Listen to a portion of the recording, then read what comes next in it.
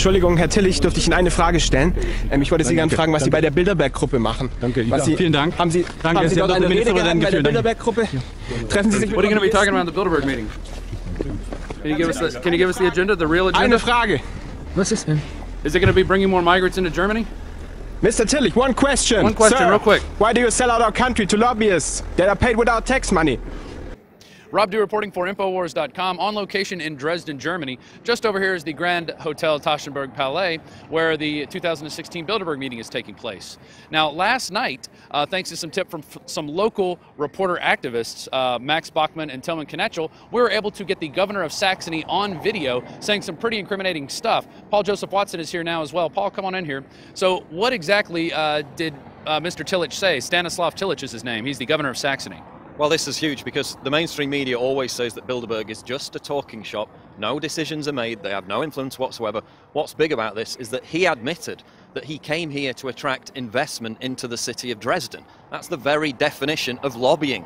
We, we say over and over again this is a lobbying organization. You've got corporations, you've got heads of government, you've got politicians scheming for lobbying purposes, and in many countries that's illegal. And he brazenly admitted it. He also said he's going to be sitting, you know, 100 feet away from the top senior members of Bilderberg, and that he, you know, hopes he will get a chance to talk to them. Again, showing that there are tiers within Bilderberg. Some people don't really know what it's about. They're, you know, they're delighted to be invited to it, whereas the upper echelons know exactly what they're doing. They're the ones planning the future of the world. But for him to admit that he was there for lobbying purposes is huge, and it remains to be seen if he'll be invited to the conference tonight. So, Paul, he's essentially sitting at the kids' table at Bilderberg uh, looking for table scraps. Anything that the elites might throw down to him, he could grab up for the city of Dresden. Uh, is that essentially what's going on? Yeah, that's what's going on, and some of these people are also groomed. We've seen people rise up through the ranks. You know, Tony Blair came in '94. He became the uh, leader of the Labour Party a couple of years after that, then went on to become Prime Minister. So they can start as underlings, bowing and genuflecting to the Bilderberg elitists, the likes of Kissinger, you know, De Castries, the executive level members, and they rise up through the ranks. I don't think he'll be rising up through the ranks because he committed the cardinal sin, which was to talk about Bilderberg, and that is completely off limits. So he's going to be in trouble.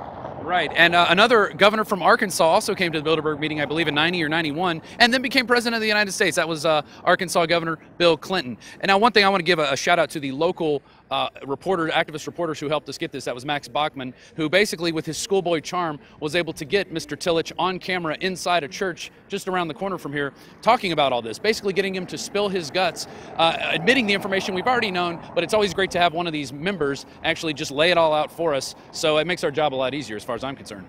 And we've got more leaks coming soon. This article is up on Infowars.com. We've got the article about the economic collapse that they're planning, which is up on Infowars.com, and more leaks to come today, so stay tuned. That's right. We're really interested in the role of Lin- Lindsey Graham. This, I believe, is his first trip to the Bilderberg meeting. He's a sitting U.S. senator. In violation of the Logan Act, he's going to be coming here. We don't know what he's going to be talking about, but we can imagine, and I think I have a, a hunch, that he is going to be trying to thwart a Trump presidency, maybe getting together with Vernon Jordan and James A. Johnson, both who run uh, high end capital uh, lobbying groups, capital firms that basically are investment banks that uh, are democratically run. So I think they're going to be looking at ways to channel this money into a Hillary Clinton campaign to basically thwart a Trump presidency. So with that, we're going to sign off for now. This is Rob Dew and Paul Joseph Watson reporting from Dresden, Germany for Infowars.com.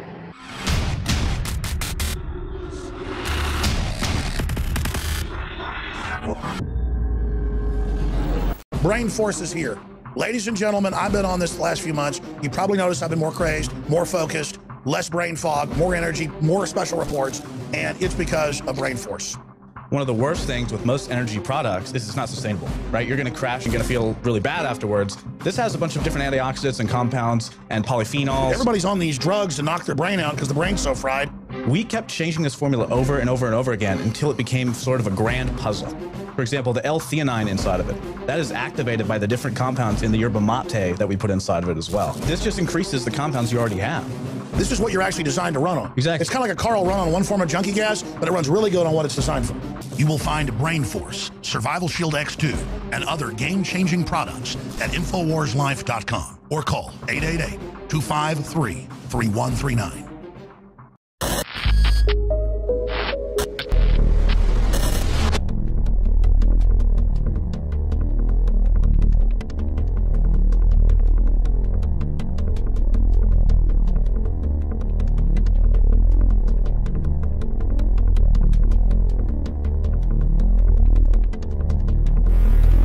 Entschuldigung, Herr Tillich, dürfte ich Ihnen eine Frage stellen? Ähm, ich wollte Sie gerne fragen, was Sie bei der Bilderberg-Gruppe machen. Danke. Was Sie, Vielen Dank. Haben Sie, Danke, haben Sie Sie dort haben eine Rede gehalten bei der. Bilderberg-Gruppe? Treffen Sie sich mit What are you going to be talking about at the Bilderberg meeting? Can you give us the, can you give us the agenda, the real agenda? Eine Frage. Was ist denn? Is it going to be bringing more migrants into Germany? Mr. Tillich, one question. One question. Sir.